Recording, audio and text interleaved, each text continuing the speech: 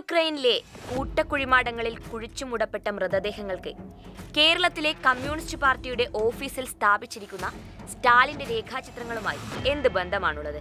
കഴിഞ്ഞ ദിവസങ്ങളിൽ പുറത്തുവന്ന ഒരു വാർത്തയുടെ മാത്രം അടിസ്ഥാനത്തിൽ കമ്മ്യൂണിസ്റ്റ് പാർട്ടി ഓഫീസുകളിൽ നിന്നും സ്റ്റാലിൻ ചിത്രങ്ങൾ പടിയിറക്കപ്പെടണമെന്ന് ആക്രോശിക്കാൻ പ്രതിപക്ഷ നേതാവ് വി ഡി സതീഷിനെ നയിച്ച വികാരം എന്തായിരിക്കും? നമസ്കാരം. ഒബ്സർവർ സെന്റർ സ്റ്റേജിലേക്ക് സ്വാഗതം. ഞാൻ രശ്മി തമ്പാൻ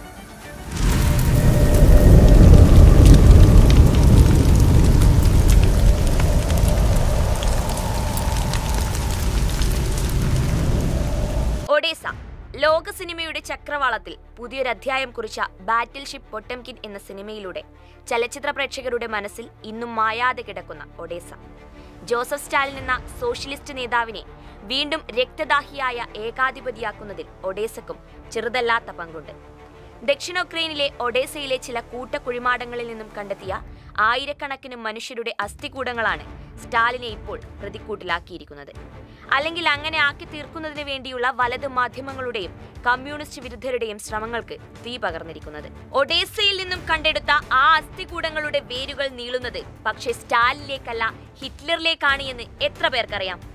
കൂട്ടക്കുഴിമാടങ്ങളുടെ ചരിത്രം ചികഞ്ഞാൽ കാണാൻ കഴിയുന്നത് ഹിറ്റ്ലറുടെ നാസിപ്പട വിതച്ച നാശവും കൂട്ടക്കുരുതികളുമാണ് എന്ന് എത്ര മാധ്യമങ്ങൾ റിപ്പോർട്ട് ചെയ്യും?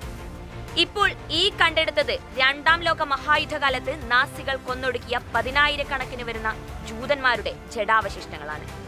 ആയിരത്തി തൊള്ളായിരത്തി നാൽപ്പത്തി ഒന്നിലെ ഒഡേസ കൂട്ടക്കൊല എന്നറിയപ്പെടുന്ന ചരിത്രത്തിന്റെ ഭാഗമായ അന്നത്തെ ആ കൂട്ടക്കൊലയിൽ കൊല്ലപ്പെട്ടവരെ അടക്കം ചെയ്ത ശവപ്പറമ്പാണത്. അന്ന് സ്റ്റാലിന്റെ ചെമ്പടയാണ് ഒഡേസയും ഉക്രൈനും എല്ലാം സംരക്ഷിച്ചത്. സിനിമയിലെ ഒഡേസ പടവുകൾക്ക് ശേഷം ഒഡേസ ലോകശ്രദ്ധയെ ആകർഷിച്ചത് ഇങ്ങനെയാണ് എന്ന കാര്യം ഈ പറയുന്ന മാധ്യമങ്ങൾക്കൊന്നും അറിയാത്തതല്ല.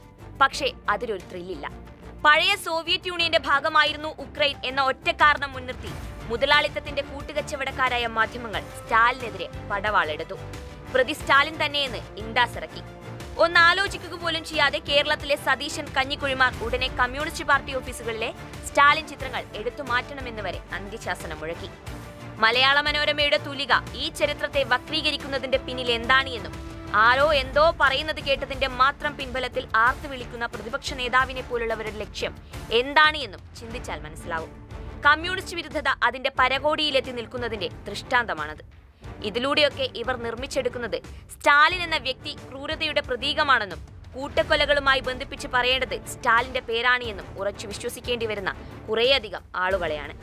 ഇവിടെ കമ്മ്യൂണിസ്റ്റുകാർ ഏകാധിപതികളാണ് എന്നും ക്രൂരരായ കൊലയാളികളാണ് എന്നും വരുത്തി തീർക്കുന്നതിന്റെ ഭാഗമായി കാലാകാലങ്ങളായി നിരാകരിക്കപ്പെട്ടുകൊണ്ടിരിക്കുന്ന അല്ലെങ്കിൽ അഡ്രസ്സ് ചെയ്യപ്പെടാതെ പോകുന്ന മറ്റു പല ചരിത്ര വസ്തുതകളുമുണ്ട് അതിൽ പ്രധാനം അമേരിക്കയുടെ ഇടപെടലുകൾ തന്നെയാണ്. മുതലാളിത്തത്തിന്റെ നീരാളി കൈകൾ ഉപയോഗിച്ച് അമേരിക്ക ചെയ്തു കൂട്ടിയ ക്രൂരതകൾക്കൊന്നും യാതൊരു കൈയും കണക്കുമില്ല. അതിന്നും തുടരുന്നുമുണ്ട്. ഇവിടെ സ്റ്റാലിനെതിരെ യുദ്ധപ്രഖ്യാപനവുമായി കമ്മ്യൂണിസ്റ്റ് പാർട്ടി ഓഫീസുകളിലെ രേഖാചിത്രങ്ങളെ ചോദ്യം ചെയ്യുന്ന വി ഡി സതീശൻ ഇപ്പോഴും ചെന്നിരിക്കാറുള്ളത് ഇന്ദിരാഭവൻ എന്ന കോൺഗ്രസ് ഓഫീസിൽ തന്നെയല്ലേ? ഇന്ദിരാഗാന്ധി എന്ന ഇന്ത്യൻ പ്രധാനമന്ത്രി ഒരു ജനാധിപത്യ രാഷ്ട്രത്തിൽ ആഭ്യന്തര അടിയന്തരാവസ്ഥ പ്രഖ്യാപിച്ച് കാലപുരിക്കയച്ച ജനലക്ഷങ്ങളുടെ എണ്ണമെടുക്കാനും വി ഡി സതീശൻ തയ്യാറാവണം. സ്വന്തം മകനെ ഉൾപ്പെടെ രണ്ടര കോടിയോളം വരുന്ന തന്റെ രാജ്യത്തെ പൗരന്മാരെ നഷ്ടപ്പെടുത്തി.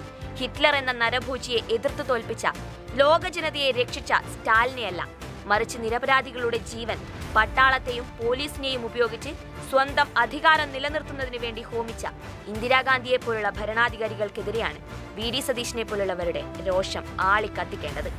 ഇവിടെ കോൺഗ്രസുകാർ വിസ്മരിക്കുന്ന ഒരു കാര്യമുണ്ട്. ജവഹർലാൽ നെഹ്റു എന്ന ഇന്ത്യയെ കണ്ടെത്തിയ കോൺഗ്രസ് നേതാവും മലയാളത്തിന്റെ പ്രിയ കവി വള്ളത്തോൾ നാരായണ മേനോൻ എന്ന കോൺഗ്രസ് നേതാവും സ്റ്റാലിനെ കുറിച്ച് ഉദ്ധരിച്ചിട്ടുള്ളത് എങ്ങനെയാണ് എന്നുള്ളത്. സമാധാനത്തിന് വേണ്ടി നിലകൊണ്ട യോദ്ധാവ് എന്നാണ് നെഹ്റു സ്റ്റാലിനെ കുറിച്ച് എഴുതിയത്.